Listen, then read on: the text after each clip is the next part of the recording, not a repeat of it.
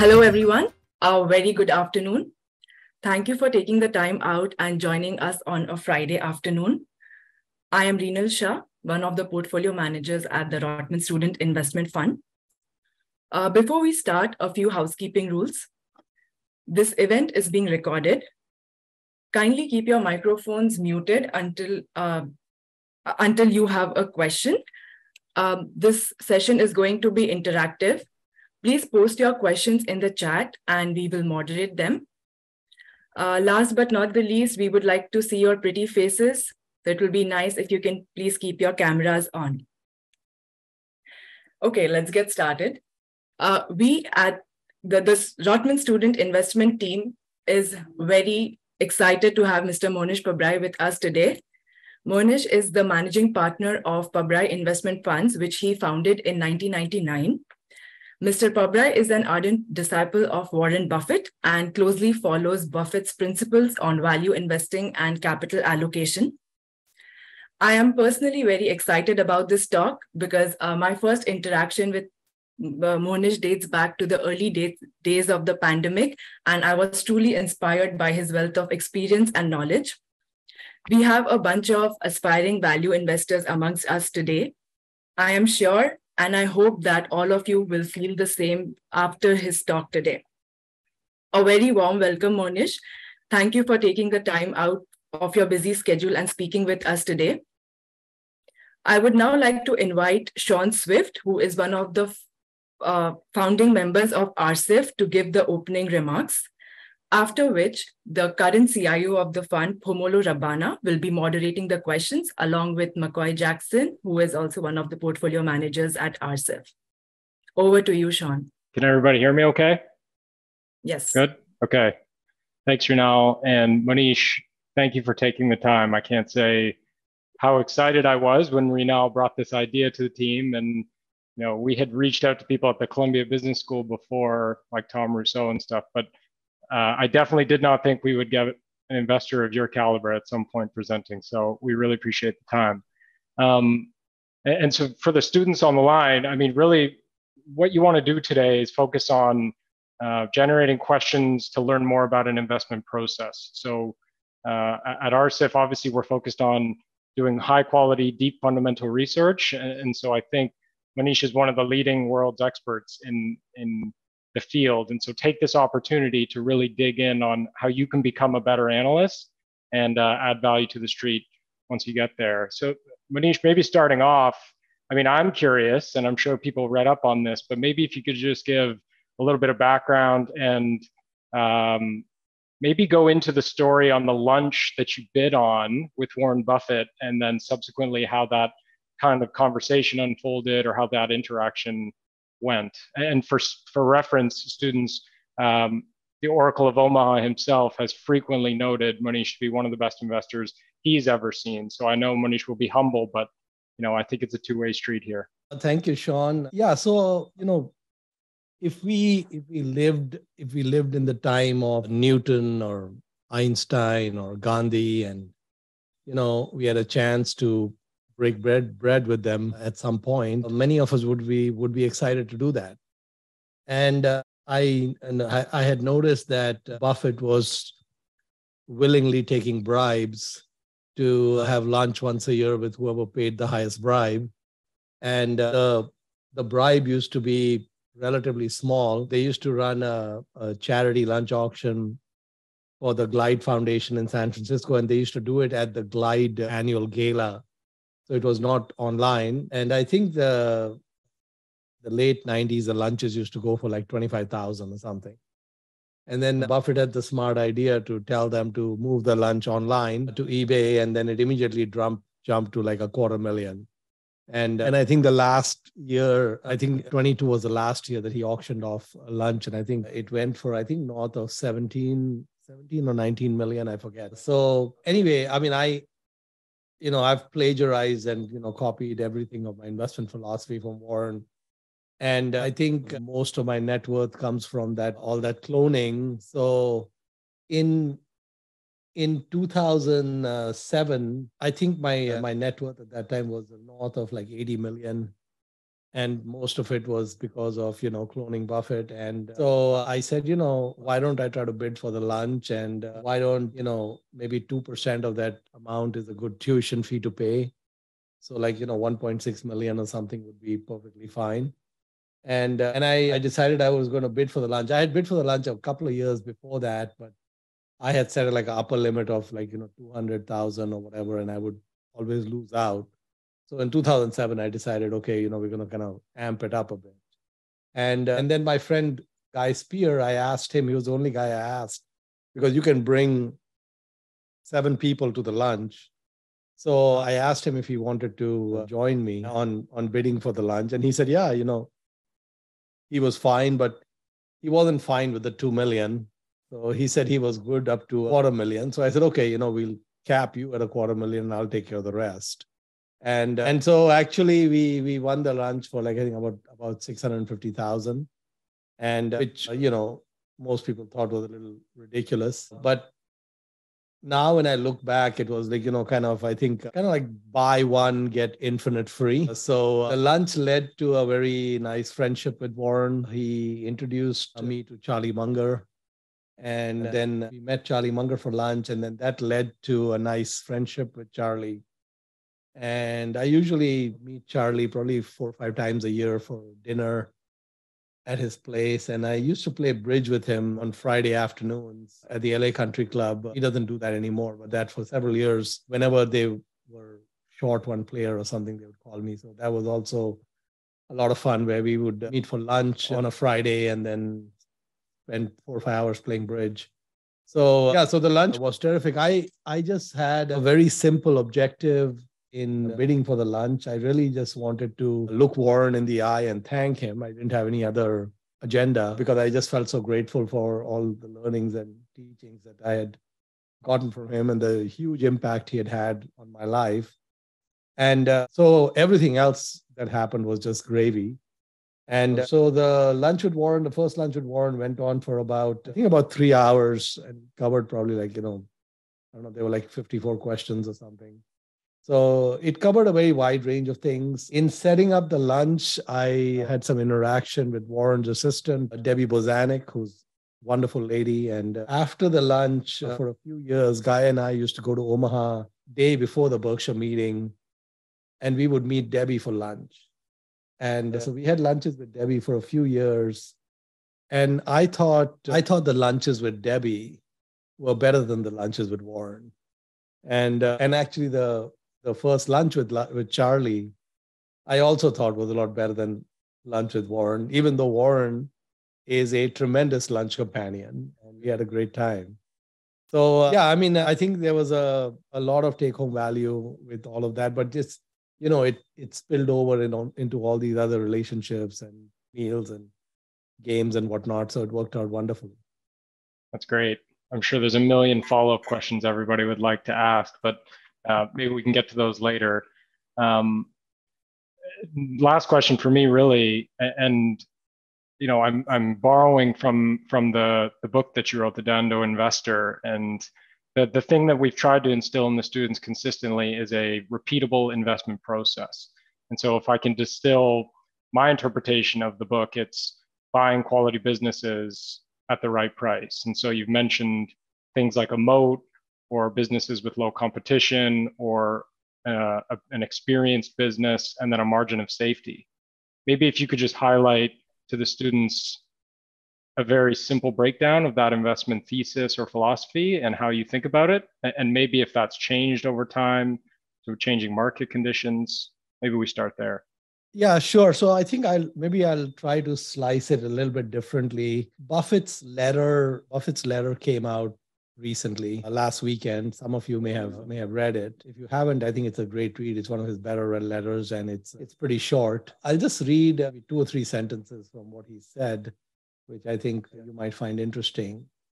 So he says that over the years i have made many mistakes.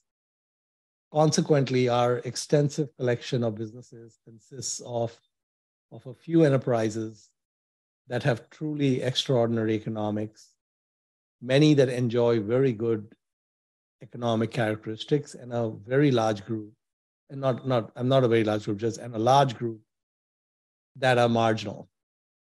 And, uh, and then, you know, a little further down, he says, at this point, a report card on me is appropriate. In 58 years of Berkshire management, most of my capital alloc- allocation decisions have been no better than so so. So I'll just re- read that question, that sentence again, because this is, you know, the greatest investing mind in the history of humanity. You know, in 58 years of Berkshire management, most of my capital allocation decisions have been no better than so so. Then he goes on to say our satisfactory results have been the product of about a dozen truly good decisions. That would be about one every five years. And, uh, and then he goes on from there, you know. So basically, if you if you look at Berkshire Hathaway, talking about the 58 year history, they bought around 80, 80 odd businesses as complete acquisitions over that 58 year period. And, and I would guess that over the 58 year period, he's probably invested in maybe north of 100 stocks. It might be 120, maybe if you take two a year, it might be 120. So if you take, you know, to make it kind of poetic and even, you have 120 stocks and 80 businesses. So you have 200 decisions basically that took place over a almost 60 year period. And he points to 12 that really are responsible for most of the outcome. And I think it's a lot more than 12 that were good decisions. But he also points out that they own a very large group of marginal businesses. So if we look at the 80 companies that he's bought, so you know, one of the things that Buffett doesn't like to do is he doesn't like to criticize specifically. Because I think, like, so for example, if he said that Helzberg Diamonds was a terrible investment, Jordan Furniture was a terrible investment, it would really dissuade those managers, like make them feel bad. And you know what what is already a business that's struggling would probably have even more headwinds thrown up. So he, he would not be helping those businesses by highlighting that they were useless decisions. But actually if we look at the list of businesses which i think the list in the annual report it's not a difficult exercise to go through and figure out which businesses are kind of mediocre or poor or useless and which are great or exceptional i think in general in investing it is not that difficult to understand what is a great business and what is a not, not so great business. I think that usually, if you look at the history of a business, what you'll find is that usually a great business, it, will be visible in the numbers. Uh, you'll have high returns on equity without the use of leverage. You'll have long runways uh, where they have the ability to reinvest capital at high rates. And, and you would obviously recognize just from looking at the names that this is a great business. So, you know, if you look at a business like Coca Cola, or if you look at a business like Visa or MasterCard or American Express, or like, you know, flight safety, Geico, and so on, we, we, we can run into many, many great businesses, pretty obvious. So, one of the one of the things before I kind of go a little further on answering your question is maybe you can just help me because that might help tailor the conversation is in your uh, student investment fund what is the what are the investing rules so what is the amount of money that you have to invest and what are the rules that you have to follow yeah absolutely Phomalo, maybe if you want to take over from here as the chief investment officer sure thank thank you very much for your time first of all Mohnish. Um, at this point in time, we just started the fund. So we've got $100,000 Canadian dollars to invest. We're going to get $150,000 more to invest. And our position sizes, which is slightly different to, I guess, how you manage your money, is that we're limited to 5% initial investment. So that's a key thing. And then we're looking for companies which are compounding over time because we're looking for five to four to five year holding period. So those are the key sort of companies we're looking for. We're looking for modest leverage as well, businesses which are easy to understand and which we do expect to be able to grow the value over time. So the 5% maximum bet, bet size means that you would have at least 20 positions. That's great. And the students who are managing the fund are they involved in the decisions on managing the fund while they are students? Yes, that is correct. Um, it is the five executive team at this point in time. We have a team of 21 analysts, and they're the ones who are involved in terms of um, looking for the stock pitches. And we actually have the final stock pitch coming up next month, uh, sorry, later on this month. And they're going to pitch five or seven ideas. And then from those seven ideas, we're going to pick the top five ideas. Okay. And then what happens to the positions after everyone graduates? Yeah, so I can take that.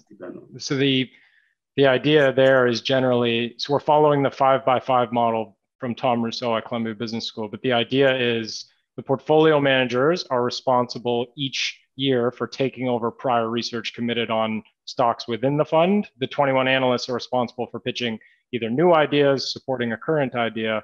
And so, you know, Fomolo, Rinal, McCoy, Harris, uh, and team are responsible for saying, of the five we bought last year, are there any that maybe we want to buy or sell or buy more of or sell?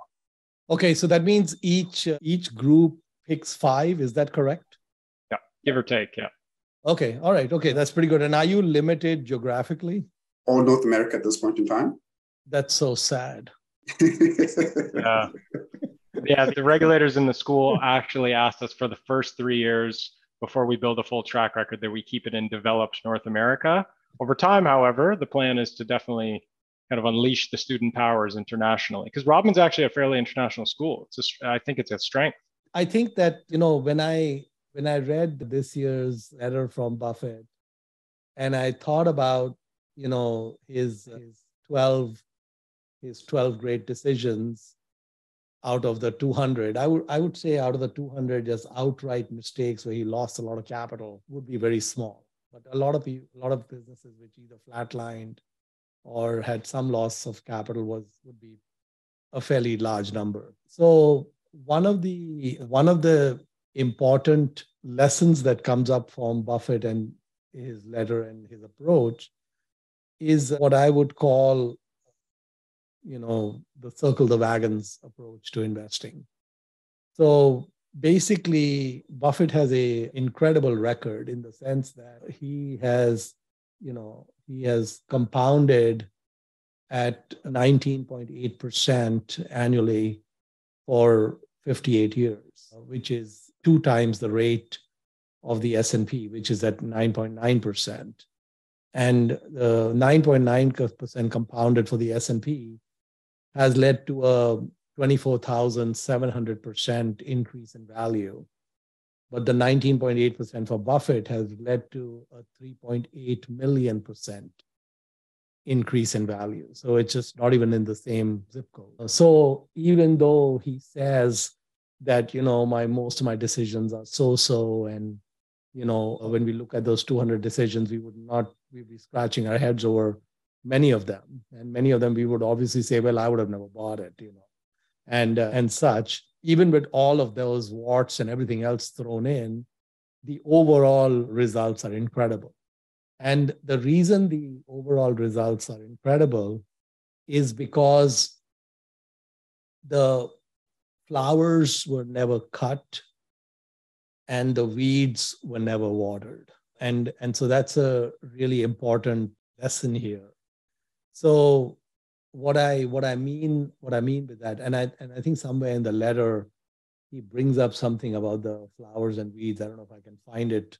on the fly over here, but I'll see if I can find it later because he has he has some quote about about about that. So basically, if I just switch gears a little bit, in the in the early 1970s, there was this concept of investing called the Nifty 50, where the idea was that you bought these 50 tremendous businesses, equal weights, 2% in each, and you kind of set it and forget it, and you made a lot of money.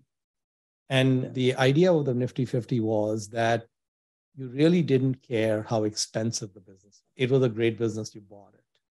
And, and so, for example, you know, McDonald's was in there and Procter Gamble's in there, you know, Xerox and Kodak and all these you know, different businesses that were really kind of strong and powerful, IBM and so on at that time. And the Nifty 50 became so popular that those businesses businesses went into stratospheric valuations. And then in uh, 73, 74, when we had the big, huge downturn in equity markets, the Nifty 50 got taken out back and shot, and very little was left of that portfolio. It was decimated. There is some con- there's some controversy about whether Walmart was part of the Nifty 50 or not. There's one group of people who think that Walmart was part of the 50. There's another group of people who think it wasn't. But let's go with the side that thinks that Walmart was part of the Nifty 50. So if you bought the Nifty 50 at whatever ridiculous valuations it was trading at in the early 70s, and you went through the whole 73, 74 downturn and never touched those 50 positions, and you assume that 49 of those 50 positions went to zero, except Walmart. You ended up trouncing the S&P from 1970 to now by some significant margin. Like, you know, you'd be about like four percentage points over the S&P. So I'm taking $100. I'm lighting fire to 98 of those $100 and taking those to zero. I'm left with my $2 in Walmart and my two dollars in Walmart beats the pants off the S and and and uh, so that that kind of data is somewhat in sync with Buffett's record. You know, the thing is that the some of these investments he made are like holding Walmart for 50 years. They like that. You know, they just they just had such powerful economics. There was a very good investor in India who passed away recently he he had a lot of health problems. He didn't live that long. He passed away when he was 62 years old. And uh, Rakesh Jhunjhunwala, and he basically never managed outside capital. He didn't have any money when he started. He actually borrowed about, I think, about $10,000 from someone to buy a few stocks at 18% a year or something. He was paying that person. And, uh, and he didn't have any collateral when he was borrowing the 10,000. The person said, How do I know I'm going to get get this money back he said i'll put the stocks in your name so that you know you know that you have those and you know i have the economic ownership but if you know things go to hell and i can't pay you you you have ownership of the stocks. And of course he was able to pay him. But when rakesh passed away so he never managed outside money never started a business or anything like that. When he passed away last year at the age of 62 he was worth about 7 billion dollars. And uh, half of that 7 billion, about 3.5 billion, was one position. It was a company in India called Titan Industries, uh, which is a, a jewelry retailer and manufacturer. And about 25 or 27 years ago, Rakesh had put 4% of his net worth at that time into Titan Industries. And he was a hyperactive trader where he'd sit, you know, with three screens and be in and out of all these positions all the time. But there were three or four positions he had that he never touched. He just kept them forever. And Titan was one of those positions. So if you do the same thing with Rakesh's portfolio, where you torch 96% of the portfolio in the mid 90s when he bought Titan, he still ends up with three and a half billion. And, and so that's very similar to the Nifty 50. So the lesson, I think the lesson in investing is that it is a very forgiving business. I mean, if you look at the Nifty 50, you could have been wrong 98% of the time, 49 out of 50 times, and you still did okay. Now, you wouldn't have done okay if you danced in and out of Walmart stock, wouldn't have worked. And in the last 50 years, nobody held Walmart stock. Nobody held Walmart stock for the entire 50 years, except the Walton family and and so here was this great business. It was obvious it was a great business. It was doing well. It was embryonic. It was going like crazy. And uh, people didn't hold on to it.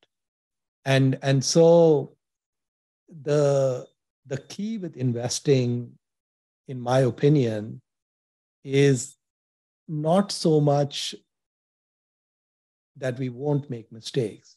We are destined to make a ton of mistakes. It's just the nature of investing. John Templeton said the best investment manager will be wrong two out of one out of three times. probably more likely will be wrong half the time. If you look at the 200 bets Berkshire made, I would say probably a good 100 would be mediocre or poor and still didn't matter.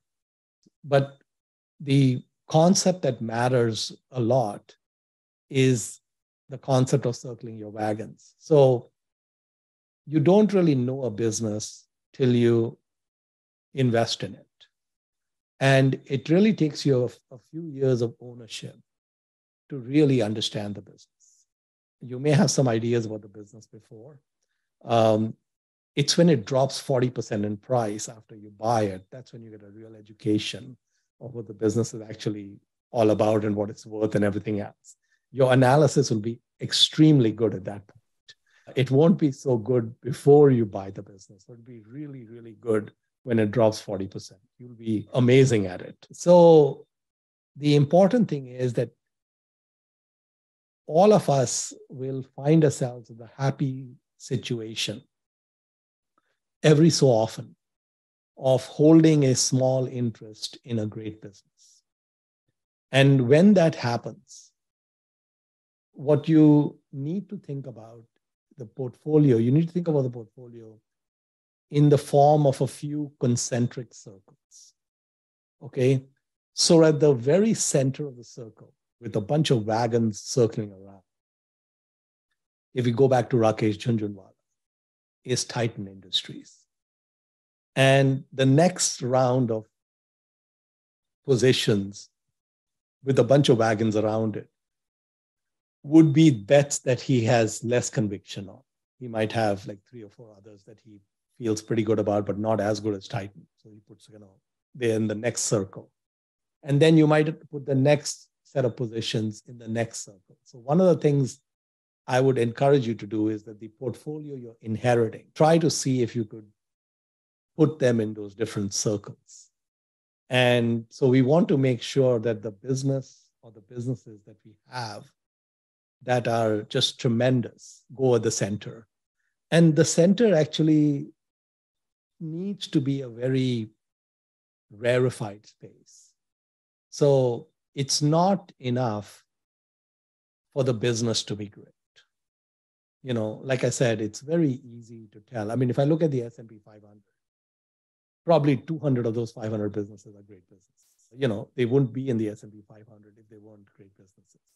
So for me to look at the S&P 500 and pick out, you know, which are the best businesses, and in fact, even to even just rank them best to worst, is a very trivial exercise. It doesn't take much to do that. That'd be pretty easy to do. What would be a much harder exercise is which of the businesses will do the well, do the best for an investor from today onwards. Because not, when, when a business is great, and the markets recognize it as being great, then a lot of those future pro- prospects are discounted in. And so when you become the 201st first analyst to buy that business, you know, what are you bringing to the party? You know, it's possible you have some insight that the rest of the world missed. But if if these are, you know, widely followed, well understood businesses, those become difficult and rare. So, so for the innermost circle with the most precious cargo being circled by the you know tightly formed wagons, we need we need two or three things. We need a tremendous business. We need a tremendous business which has a tremendous growth runway, which has very high returns on equity without using leverage, which has the ability to reinvest capital at very high rates, and which has a very modest price. The last one is the deal killer and the most difficult because everything else we can find relatively easily. And, uh, and, and the last one is why, you know, Munger says we need to go fishing where the fish are.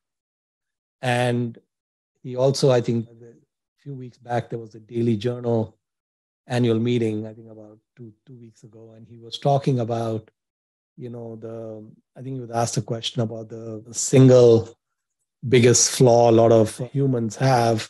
And the biggest flaw humans have is, is denial. A lot of investment managers have denial, you know, where they are they are going up. I mean, if I if I am given a mandate to only buy S&P 500 names and beat the S&P by 5 percentage points a year and I decide to, you know, and I need to have at least 20 names in the portfolio, you know, I shouldn't even try. That would be really hard to do. But a lot of other managers will try that. And that's what Munger means by denial. So, with that, maybe we'll see what else you guys want to talk about. Thank you very much. Um, just going back to great businesses. Um, I read somewhere that you think only about 5% of companies globally are actually great businesses.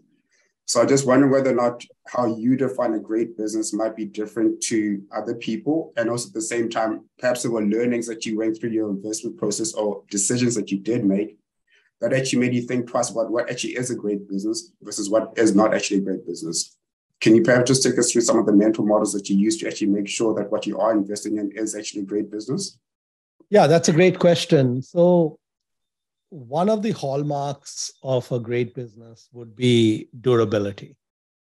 And one of the issues with capitalism is that if you have a mousetrap that delivers high returns on equity, grows a lot, does really well, etc., you have a target on your back. And other capitalists will try to come and take market share from you, make the, the landscape far more competitive, reduce the profit margins, and even take you out of business. And the reality is that most of those marauding invaders coming to take the castle will succeed. So if we look at how many businesses last 10 years after they're formed, how many businesses last a year after they're formed? It's a very small number. 10 years is an even smaller number. 20 years, even smaller. Each time it's going down by a whole exponential, you know, 30 years, 40 years, 50 years, just keeps going down. If we go look at the kind of the Dow Jones Industrial Average from 100 years ago to today, and you look at the, you know, the kind of 30 most powerful businesses 100 years back, it used to be only GE was the one that came through. And then now GE is gone too, you know, taken out back and shot many times. And so basically, a business, I mean, if you look at a business like IBM, IBM is a very interesting case study because they were able to morph and evolve and jump curves, cur- curves many times when they should have died.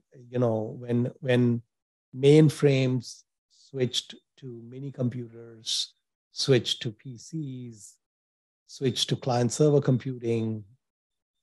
Through many of those curves, IBM just kept plowing through, kept doing well. And, and now it's a shadow of its former self.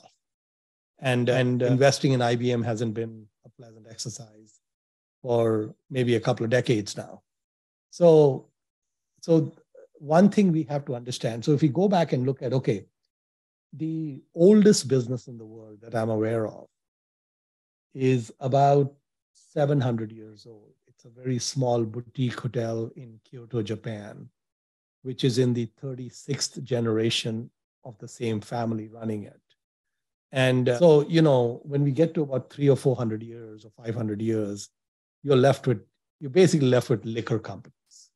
You know, liquor companies are great businesses, by the way. Tobacco companies, human vices. If you invest in the vices, you do well. So basically, when we talk about great businesses, we have to talk about them with great humility. Because even if we look at a business like Apple today, which absolutely dominates and is so entrenched, Alphabet, Amazon, Microsoft, dominant, well entrenched, deep moat businesses, high returns on equity, just tremendous. Which of these will be with us 20 years from now, still thriving? 40 years from now, still thriving? 60 years from now, I don't know if I would make a bet that any of them will be thriving 40 years from now. 40 years is a long time. 10 years, I don't think you can touch any of them. I think they're all solid for 10 years. 20 years, maybe they're all still there. After that, who knows? So, one of the problems we run into in investing is on one hand, I told you, circle the wagons. You know, you find this great knight, you know, controlling this great castle with a great moat around it. Just hang on to it for dear life. And then on the other side, we have this, you know, permanent, you know, creative destruction going on, where even your most precious crown jewel, numero uno bet, just gets decimated, you know, taken out back. So this is why, you know, like Charlie says, why should it be easy to get rich? You know, so this is what makes it challenging. So what, what we have to do is we have to circle the wagons. That we have to do because without circling the wagons, you don't get to hold a Walmart for 50 years. But the second thing we have to do is we have to separate signal from noise. So what we have to do is these businesses will go through ups and downs. Nothing is straight forever. And so when they go through, sorry, when they go through these ups and downs, we have to separate normal cyclicality, you know, whatever's going on, such as life, from secular decline. And we cannot be like, you know, trigger happy. And when we are, we can be a little sloppy on the selling. So we, we, we can see, oh, something is declining, but let me be absolutely sure we're not reacting to noise. So that's fine. You can, you can be a little bit careful on that.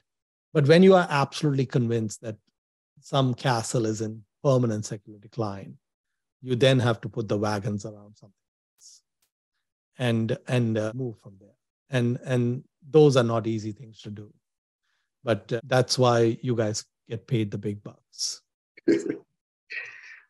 Thank you for that. Um, you mentioned tobacco. You mentioned beverage companies or alcoholic beverage companies.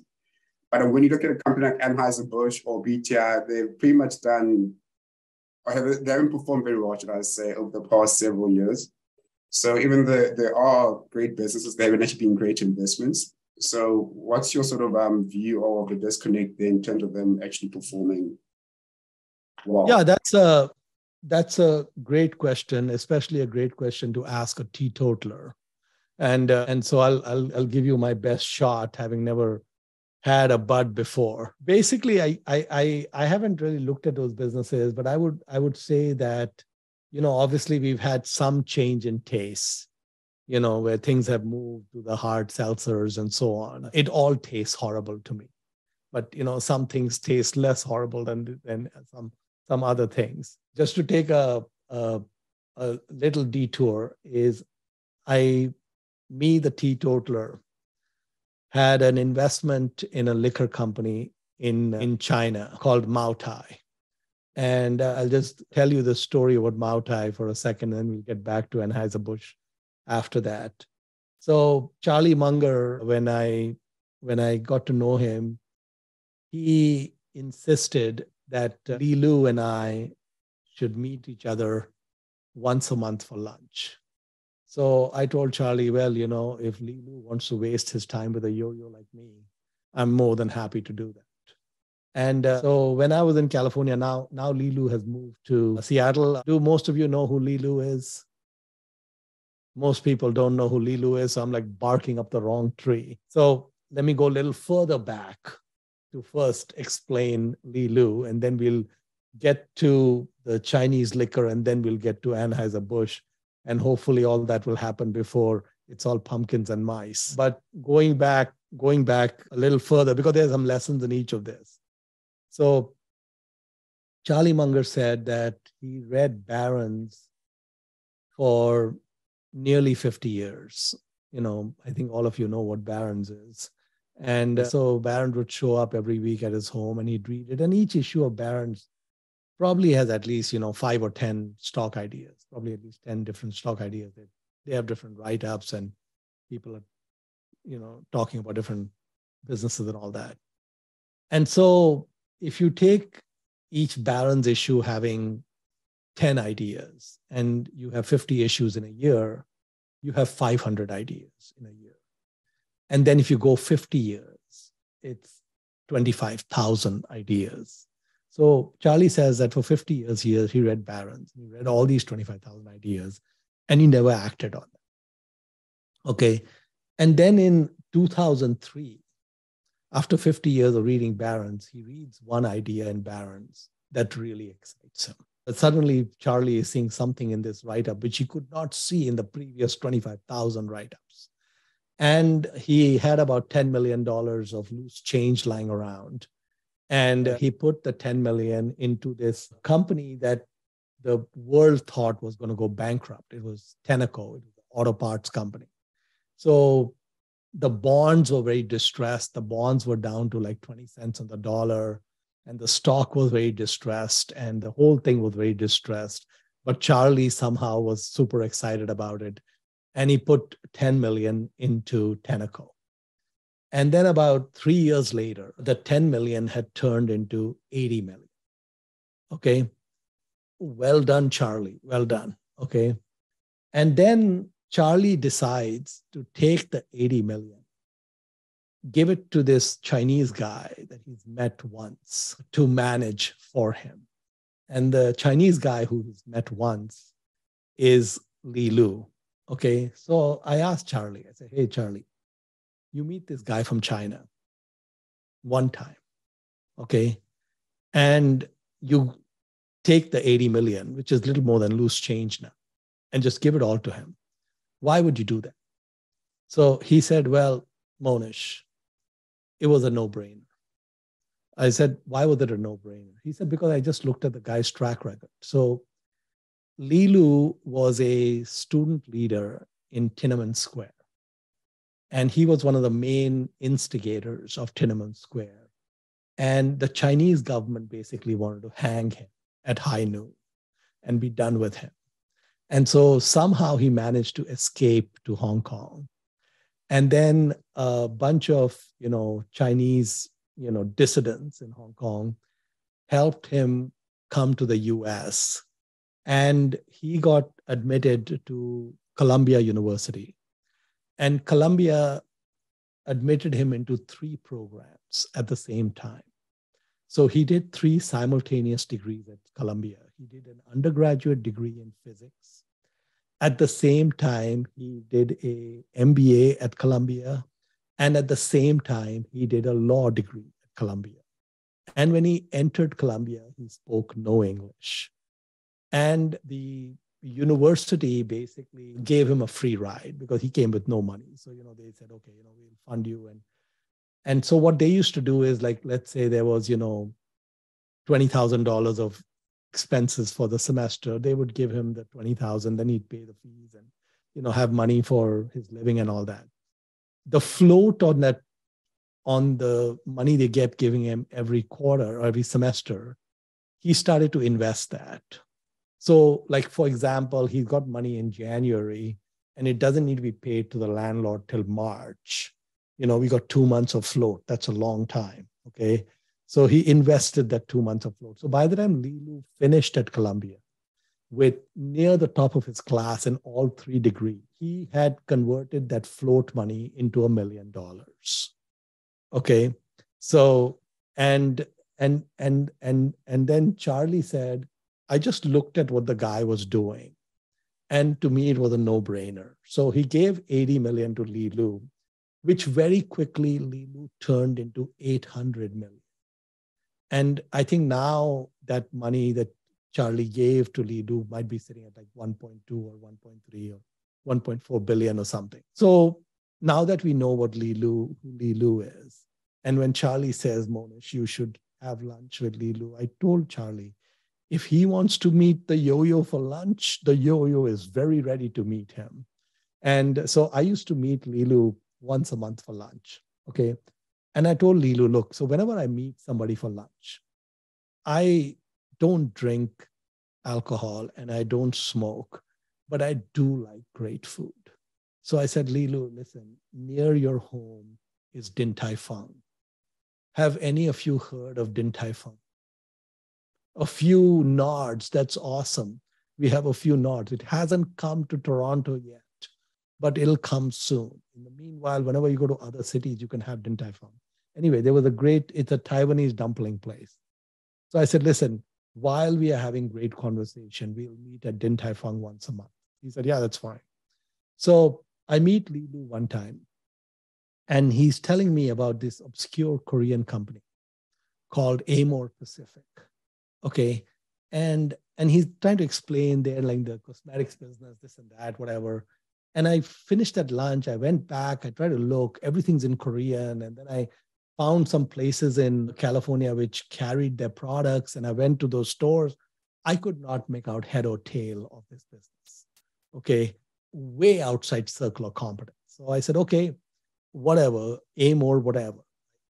And then after about 18 months or two years of meeting, he tells me, yeah, so, so did you invest in Amore, Amore Pacific? I said, Li Lu, I couldn't make head or tail. He said, it's gone up 600x. Okay. So then, then Li Lu tells me, you know, Mohnish, you should buy Moutai. I said, Li Lu, you know, I'm done with these wacko names. So here's what we're going to do. Don't tell me go buy this and go buy that. Please spoon feed me everything I need to know. Because when I leave this lunch, everything in Moutai is going to be in Chinese. And then I won't be able to do anything. And then I want to meet you after two years and it's gone up 100x. And I'm again the idiot who did nothing with it. So he said, Well, you could have asked me that about Amore. I would have explained it to you. I said, Well, now I'm asking, please explain, spoon feed me Moutai. So Moutai is the most, uh, now it is the most valued liquor company in the world. It's above every other liquor company. It only has one product. Okay. The product costs about a dollar fifty, less than two dollars per bottle to make.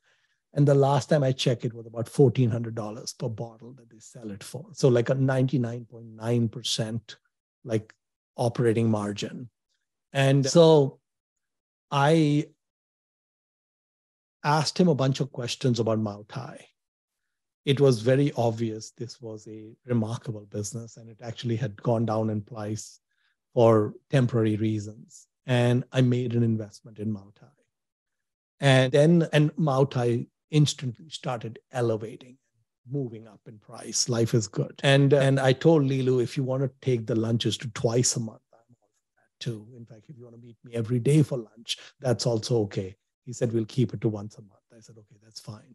You know, and uh, and uh, so a few years after that, I uh, decided that the Moutai had become such a big part of the portfolio that maybe I should go visit the company.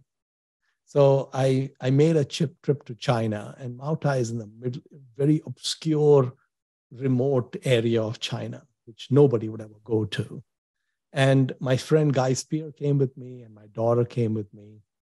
And we went to Moutai headquarters. And because Li was a big shareholder and he helped set this up, they had arranged a great banquet for us at the Moutai Museum, you know, and so at the banquet, Guy Spier's with me and my daughter's with me. So Guy Spier tells the host, We don't want you to get offended. But my friend Mohnish here does not drink alcohol. And is it possible to get him a Coke? So they said, within this hallowed ground of this restaurant, there are only two liquids that are served it's water and Moutai. And we would be offended if he did not consume Moutai. So, you know, it's if you ever get a chance to have Moutai, you know, tiny serving like this small, you have it neat. It's like diesel going straight in. It's like concentrated diesel. That's all I can describe it as. And I didn't want to offend the host, so I took one sip and then my insides were burning for the next three days. So that was my experience, my one and only experience with, with liquor. But anyway, coming back to Anheuser-Busch. So I think the thing with Anheuser-Busch is what we'd have to know is we have these kind of changes in human tastes and trends, is that noise or is that signal? It still has a dominant position. It's still a great business in many different ways. We have to look at the valuation. We've got to have some idea of what it might do in the future. And then if all of that becomes at the point of being a no-brainer, like Tenneco was for Charlie, then we pull the trigger. Otherwise, we move on. So that's all I can say about liquor. Cool. Thank you very much. Um, I guess just to follow up, when you actually meet in management teams, for instance, um, how do you go about assessing the difference between a good management team and a bad management team? And I say that because usually when things are going well for a company, everyone says this is a fantastic management team. They say they do fantastic work, X, Y, Z. They're futuristic, they're thinking forward. But when suddenly things do turn for that management team, people start calling them naive. They're not really focused on what's the most important thing for a company. So I want to know how you actually go about differentiating between what actually makes a good management team versus a bad management team. Warren has given us the framework on that. So that's pretty straightforward. We simply look at the track record. So all management teams have one thing in common, especially all CEOs. They got to be CEO because they're great sales. Okay. And so if you go meet a great salesman and he talks to you about a subject on which he knows everything and you know nothing, and you rely on that information to make decisions, you will not get to nirvana. You will get to the poorhouse. So basically, the average public company CEO, you know, being male and thereabout, would be someone you'd be happy to have your daughter marry. They are high quality, high integrity people, but they are optimists. And if they weren't optimists, they couldn't lead. So it's not like they're trying to mislead you. They actually believe the Kool Aid that they're trying to sell you. It's just that the Kool Aid may or may not be real Kool Aid. So the way to look at a business and look at a management team is to look at what they've done in the past. And if you if you go back and look at what they've done in the past, then it becomes very obvious. And also sometimes you might be confused. Was the past great because the business was great? Or was the past great because the manager was great? And you know, who was this? Who the British, uh, the American general Patton? Patton used to always say that he didn't want his the officers. No, it was Napoleon. Sorry, Napoleon said he was not looking for his generals to be great. He just wanted his generals to be lucky. He said, I want the most lucky generals. I don't want the great generals. Okay. So when we look at the past history of a business under a given manager, did the business do well because the manager was great? Or did the business do well because the business was great? Like if you look at a business like Coca Cola, for example, we know for a fact that for about 35 years or 40 years, it was managed by idiot managers. And the business still did well. In spite of the idiots trying everything under the sun, you know, they bought Paramount Pictures, they bought shrimp farms in China, they bought all these stupid businesses, which when the next team came in, they sold everything. Okay. They did all these stupid things, they couldn't kill the business. Okay. So when we look back and we see great performance, it now doesn't matter what we think of the manager because more than likely that great performance is mostly due to the quality of the business versus the quality of the manager. And so, just like Napoleon, we want lucky generals. And so, forget what the manager is saying, forget what he's forecasting, forget what mumbo jumbo tales they're spinning for you. That's all hocus pocus all we care about is what's happened in the past. And what's happened in the past is not subject to debate, it's very obvious. So it becomes pretty simple and straightforward. Thank you. Um, you want to ask a question quick? Yeah, so thanks, Manish. Just turning to a few questions from the chat uh, from the students and other participants. Uh, so this one is a bit of a segue into what you mentioned about um, finding great businesses. So uh, the question is after you've identified a great business, what's your approach to valuation? Um, I know you hate Excel models and uh, fine tuning those models. So, what sort of mental models do you use to value companies?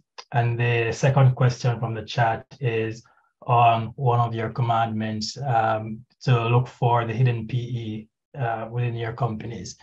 Uh, what, what's your approach to, to that? Um, and then, how do you go about as a related question, how do you go about assessing the normalized earning power of, of companies you're looking to invest in? Yeah. So what we want to do is we don't want to use a lot of brain cells because we have limited brain cells. So we want what I would call no brainers. And and uh, like you know, I started making trips to Turkey about five years ago. And uh, in about two weeks, I'm going to Istanbul for about two weeks. And it should be quite the orgasmic visit. But, but basically, I started going to Istanbul about five years ago just out of curiosity because it was screening as probably the cheapest market I was I'd ever looked at. And Turkey has very crazy economic policies, 80% inflation. Everyone and their brother has exited, you know, and uh, local investors are gamblers. Their average holding period is like, you know, six hours. And uh, so I started meeting with, I have a good friend in Turkey. I told him to just, if he would be, just take me to the businesses that he already invested in, which he was very happy to do. And in my second trip to Turkey, I ran into this company that he was taking me to, where the market cap was $16 million. And my friend was telling me the liquidation value is like 700 or 800 million. So I asked him if it was a fraud. He said, no, I own part of the business and it's a perfectly normal business. And I looked at the business and I really couldn't find anything wrong with it. I liked the people running it. And I really was kind of scratching my head about the valuation.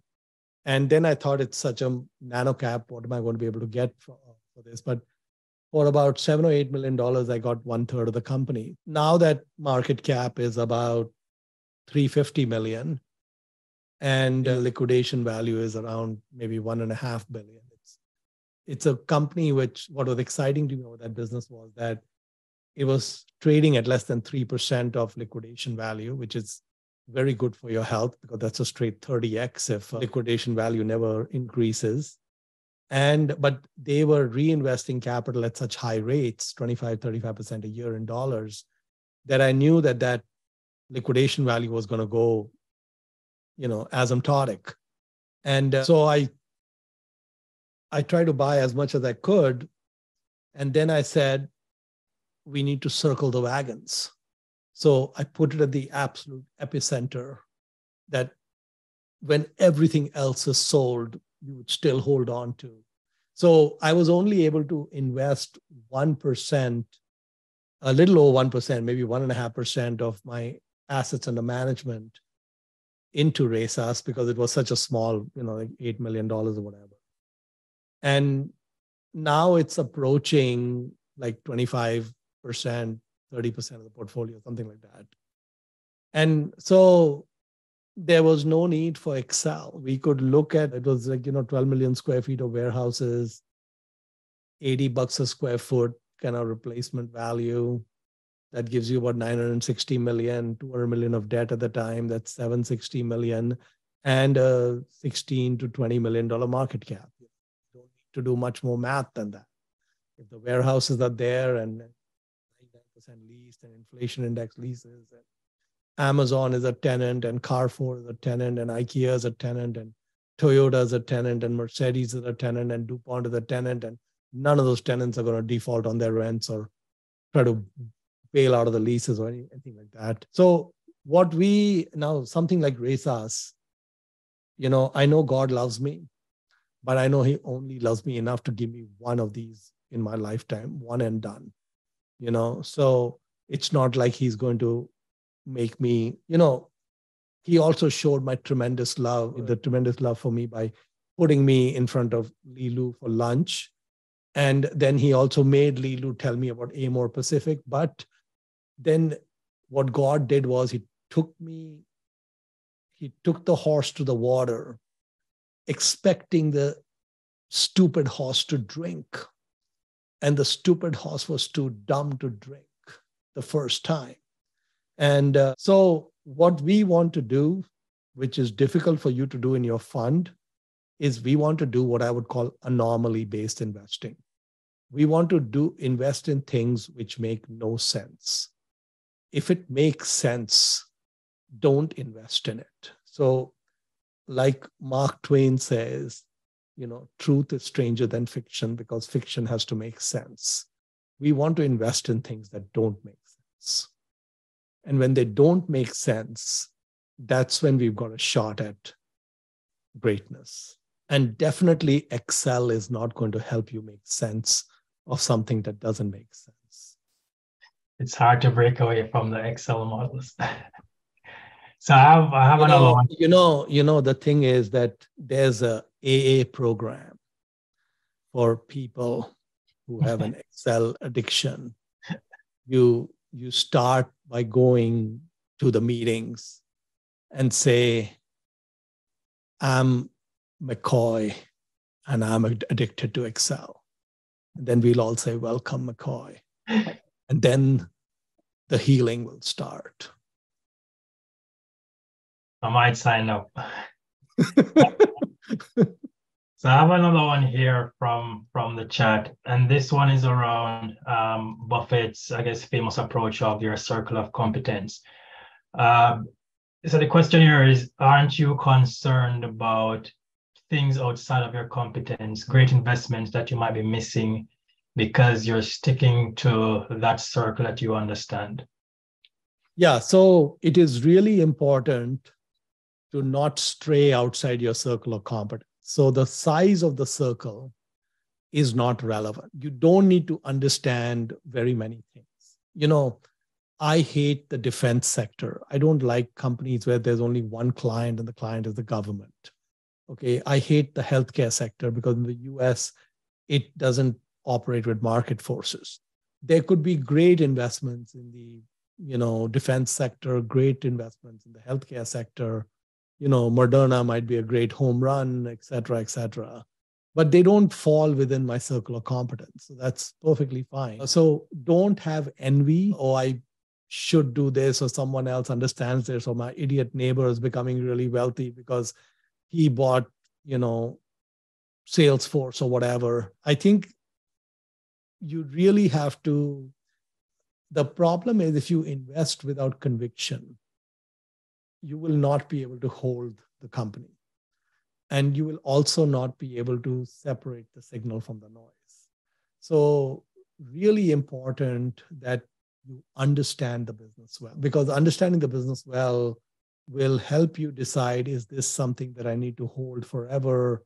Or is this something that I could possibly replace with something better? and so on. So I, I think there is no substitute for circular competence. Charlie Munger has a billionaire friend who passed away recently, John Arrillaga. And the interesting thing is John Arrillaga's daughter is uh, is married to Marc Andreessen. So, you know, she's already a daughter of a billionaire. And then she, you know, randomly chooses to date a billionaire and and then it's billion to the power of a billion. And you know i've lost count of the billions now.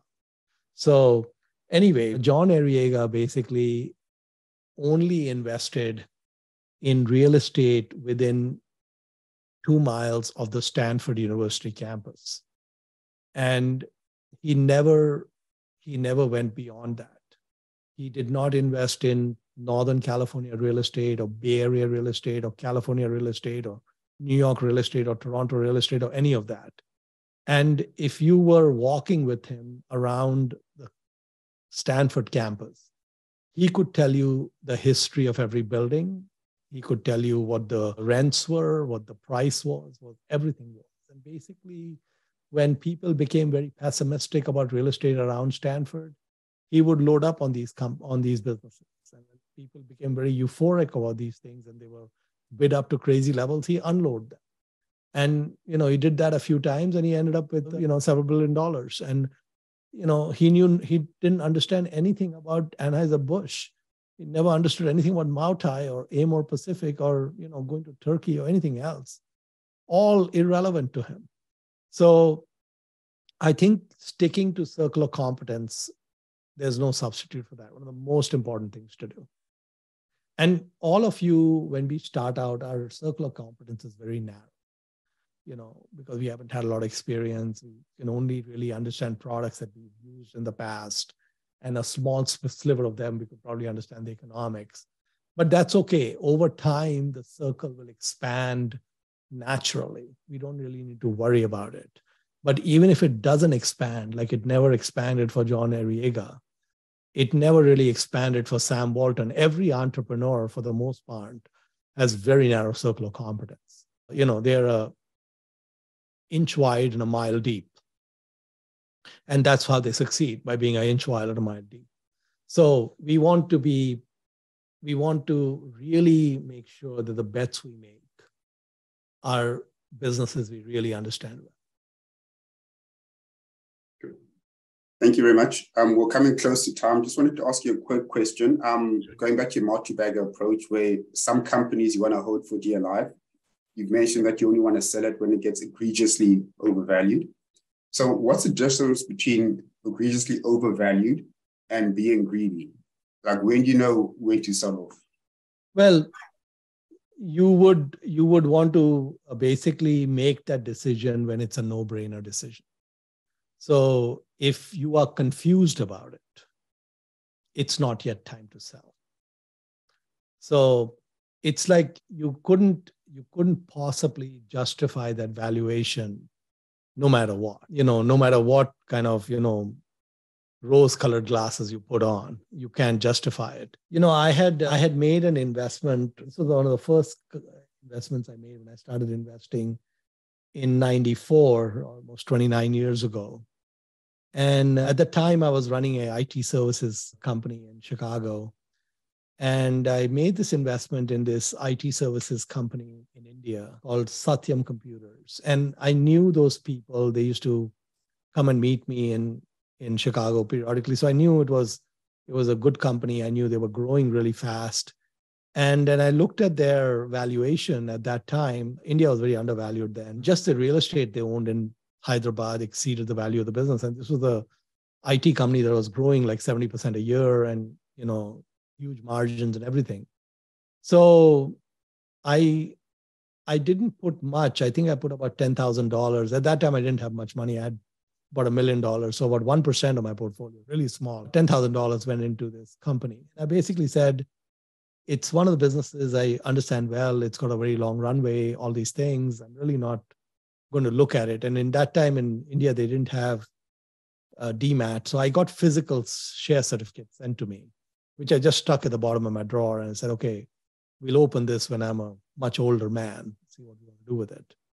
And I just didn't really follow the company much. And I noticed when the dot com bubble was raging in early 2000, about five, six years after I bought the company, that it had gone from 40 rupees a share to 7,000 rupees a share. It was trading at a like a 150x, including like some currency that went against me. So it was 150x in dollars. And I looked at it at that time. I mean, I knew their business was doing well, but there was no way to come up with a valuation that would fit, no matter how optimistic I was. And so I said, as much as I like this, we got to let this go. And and I and I and I was also very skeptical about the whole process of sending the certificates back. And I didn't know whether the Indian government would allow, allow me to repatriate the money. You know, they said in theory you can take everything back, but I said I only gave them 10,000 and I'm going to, you know, pull out 1.5 million or something and they're to like choke on that. And uh, so I wasn't sure it'll all go through, but it did. Everything went through and I sold within 10% of the peak. And about nine months later, it had dropped 85%. Still would have been a good home run, but that was that was my first 100 bagger. And uh, so life was good. And so far I've only had 200 baggers. I shouldn't say only, even one is good. And possibly with the one in Turkey, we'll have a third one. That'll be the most most fun, I think, because it'll have the most meaningful amount of capital in it.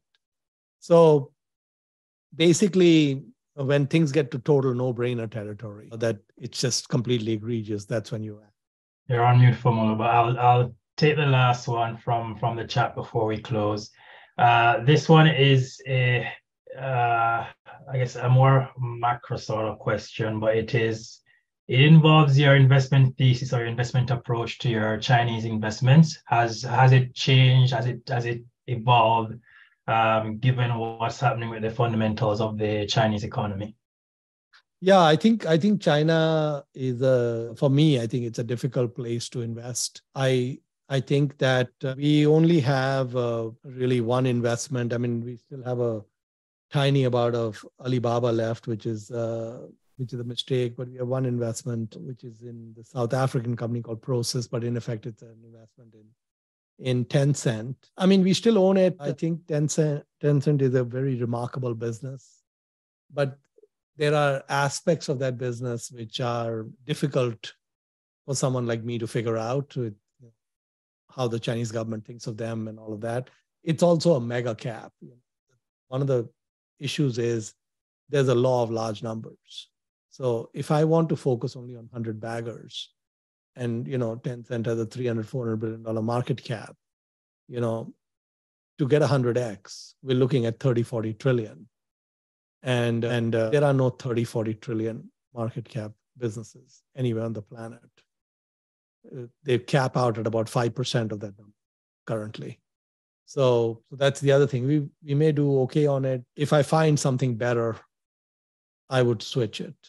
Cool. Thank you very much for your time today. I think that brings us to the closure of the event today. Um, we do thoroughly appreciate you taking so much time to actually speak with us today. Um, we've learned a lot. and I've learned a lot. I'm sure our analysts have also learned a lot.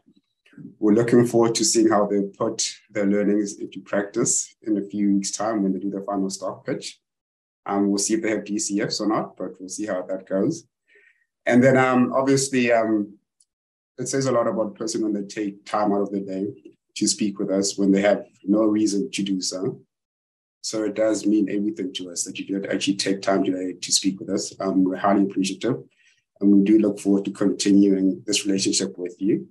And we wish you continued success. Um, looking forward to more talks and all the best for future endeavors. All right. Well, uh, thank you very much. I very much enjoyed the session and some great questions. And I'm sorry for the long winded answers and the detours, but hopefully you got something out of it. And I wish you all the very best. Thank you very much. Thank you. Thank you so much, Mohnish. Bye.